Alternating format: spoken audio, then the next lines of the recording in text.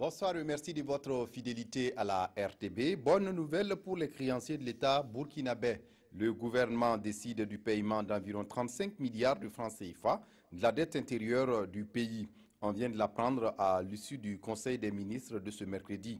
Le Conseil des ministres qui a également adopté des projets de textes relatifs à l'agriculture et aux infrastructures routières. Pour finir, le Conseil a actualisé la liste des régions devant abriter les festivités du 11 décembre jusqu'en 2021. Les policiers radiés à la suite des mutineries de 2011 au Burkina viennent d'être reçus par le Haut Conseil pour la réconciliation et l'unité. Ils sont euh, allés s'enquérir des nouvelles de leur dossier dont le Conseil a la charge d'examiner. En 2011, une vague de mutineries a touché presque toutes les forces de défense et de sécurité du Burkina. Des mutineries qui ont fait des morts, des blessés et autres victimes de viols. Le gouvernement à l'époque avait décidé alors de la radiation pure et simple des mutins. L'indépendance de la justice euh, est essentielle pour garantir aux justiciables des procès justes et équitables.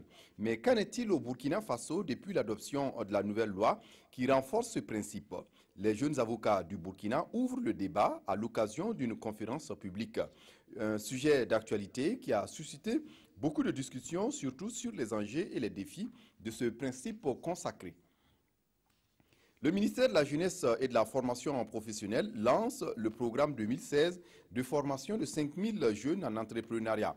L'objectif du programme est de développer les capacités entrepreneuriales des jeunes en vue de leur permettre de pouvoir initier et exécuter eux-mêmes leurs projets.